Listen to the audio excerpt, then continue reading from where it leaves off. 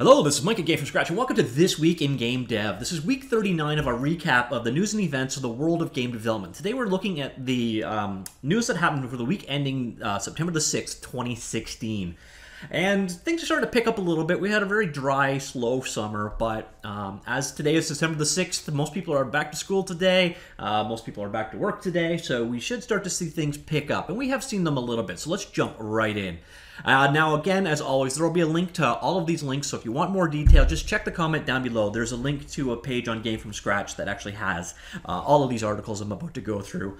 Uh, so our first release this week was OpenFL 3, um, 4.1 and Lime 3.1. Now, uh, OpenFL is a Haxe-based library. The whole idea behind it is um, OpenFL. The FL stands for Flash, so it's sort of a porting layer for people that want to move away from ActionScript and, and the Flash ecosystem and over to Haxe, which is uh, its own programming language, very cross-platform focused. So OpenFL tries to implement a lot of the um, the functionality you've got in Flash, including their 3D layer called uh, Stage 3D, which was um, kind of a big part focus of this particular release. You can see uh, a number of things added, mostly um, smaller incremental stuff. Now, the other thing that was released this week was um, Lime 3.1. Now, Lime is actually the technology stack that um, OpenFL is built on top of. So it's what provides the low-level cross-platform uh, guts, which, by the way, you can use the one without the other. So you can use Lime without OpenFL if you wish. So if you just want a low-level, um, it's almost like SDL level, maybe even a little bit lower than that, uh, framework for Haxe, that's what Lime is. And you can see, again, pretty minor details in this particular release, uh, but it is nice to see this, uh, this ongoing development. Speaking of ongoing development, the Superpowers engine saw a release of version 2. Now, I actually started doing a tutorial series on using superpowers. I think it linked it here. Yes, I did. And you see, I didn't get that far into it. I got four parts into it, and then I sort of stopped. And that's because while Superpowers was developing and releasing very quickly, it just dried up and stopped as well. So I actually thought the project was abandoned. But it's nice to see that they've actually uh, done two releases in the last two or three months, uh, with 2.0 being the next or the most recent release. Now, it did not jump that high. Now, it used to be like 0.2. Uh, they just changed their numbering system. So there's not a ton of new stuff in this actual release. Um, so you're going to expect to see it go 2, 2, 5, 3 very rapidly as opposed to 0.2, 0.21, that kind of release schedule. Um, mostly uh, changes and fixes, things like they upgraded. Now, keep in mind, Superpowers is actually split into multiple pieces. I guess I should explain for a sec what it is. It's a cross-platform HTML5 powered game engine, uh, but it's also like the tool, the library, and the framework. And they've also done ports to Lua. So it's a bunch of different projects now, split into different modules. So uh, this is the Superpowers tooling, uh, small upgrades, uh, added German support, improved Italian support, and then a bunch of fixes. Now, on top of that, we've also had upgrades to the core library. Again, a lot of it's language related uh, or just straight up bug fixes. Uh, the game layer, arcade physics, the Lua Love layer got updates again, mostly the Italian and German releases, and then the web um, component of it. So it's basically becoming this collection of, of modules that work together to create games. Uh, it is an interesting project, one that you know now that I know that it's being developed again, I do recommend you check out if you're interested. And again, I did do that tutorial series. It is linked at the top of this. Uh, I also believe it has a bit of an overview. So if you want to learn a little bit more about the Superpowers game engine, uh, do check that out. Now, another release this week was Spriter 2D animation system released version 9. Uh, Spriter is along the same lines as. Um, oh, brain, come on, work uh, spine or creature. Uh, so those three packages kind of all work together. They allow you to do, um, basically you take a 2D image, you cut it up into pieces. So I would cut off like the arms, the head, the body, the leg, the weapons, etc. And then you use almost a traditional 3D style bone IK based animation. And they, these are capable of publishing out to a number of different runtimes or to generate sprite sheets for you. So if you're doing 2D animation, these are really kind of cool systems. Um, you can see a couple things on this release. Uh, Windows version now has access to additional gig of RAM, uh, so if you're working on large projects, that's of course going to be nice. Uh, bounding box for animations using an automatic bounding box calculation, which again is nice. Uh, manually setting bounding box is a pain in the butt. Uh, crash detection, blah blah blah, not very exciting. You can now nudge pivot point from one approximate pixel at a time using the arrow keys. Again, that's actually kind of nice for setting pivot points. Um, yeah, and then you can see there's several bug fixes in this release as well. Now, another release this week was Unity 5.5 Beta was released. Now, this is um, kind of a fork in the direction. This is more of a preview release of what's coming soon. And truth be told, there's not actually a hell of a lot in this. For such a major jump in release, we just went from basically 5 to 5.5 on this one. So I kind of thought there'd be a lot more here, but there really isn't that much. The big thing is they've got um, improvements to the particle system, new modules for uh, light, noise, and trails, a new 2D capsule collider for physics, um, some editor changes. They've updated the uh, version of um, Xamarin or C Sharp that's being used. It's now up to Mono 4.4, but that's just using the tooling. It's still the ancient version of C Sharp that um, Unity has always used. It's just using the most current compilers. And this is a move to eventually, over time, and finally, move to like C Sharp 5 or 6. So, like, you know, bring us into the modern day, not 10 years ago. So, yeah, not the greatest release ever, but there's quite a bit, and more there in, than in the traditional Unity patches, at least.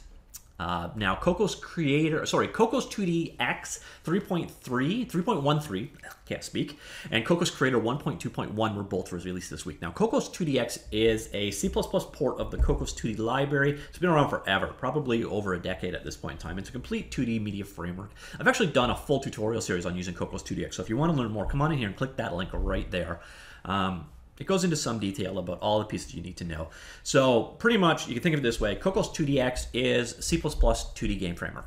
And Cocos Creator is built on top of the Cocos 2D uh, JavaScript port. So it is a uh, complete game engine editor environment, but built on top of the JavaScript uh, projects. But they are doing some work towards supporting Lua, so I'm not really sure exactly where that has gotten.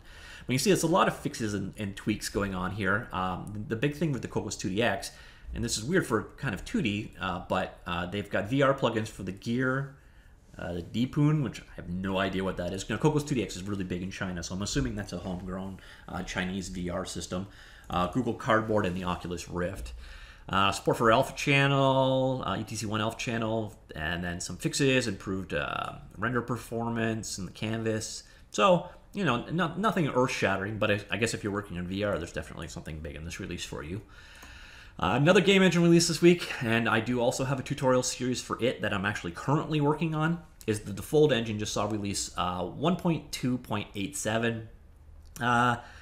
Nothing's gonna like rock your world here. Things like the ability to see the text node in editor. I guess it's the size of the text node in the editor, which is useful, I guess, if you're placing text. Uh, toggle physics debug at runtime, particle count, web profile, and visual profile, uh, you know, just little fixes up beyond that stuff. Nothing, you know, earth shattering, but another incremental release.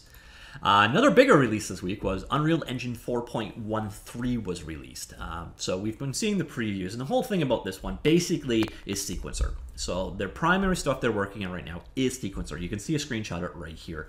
Now Sequencer is a nonlinear editor or an NLE. Um, and these are basically used to bring a whole bunch of stuff together and to create, you know, if you've ever used um, oh, it was Macromedia's project. Almost you can even think of Flash as a nonlinear editor, to be honest. So if you've got all these timelines at the bottom, and you kind of can bring all these different pieces in together to make movies. Um, I use a nonlinear editor when I'm done videotaping this so that I can um, you know add the banner at the front or you know change the sound or etc so uh, that's where NL- nle comes in and what sequencer allows you to do first off is cutscenes so very advanced cutscenes you can um, you know, bring together various different pieces, 3D renders, 2D images, sounds, music, etc., into uh, you know a cohesive whole. But they're also looking at this to making uh, I don't know if this is the right pronunciation, but machinima or machinima, uh, but basically film computer-based movies. And actually, they're going after the real movie market. Now, I'm not sure how many people are going to start making movies directly in Unreal, uh, but it's interesting to see them go this route. So we've seen a lot of updates to the sequencer, and that's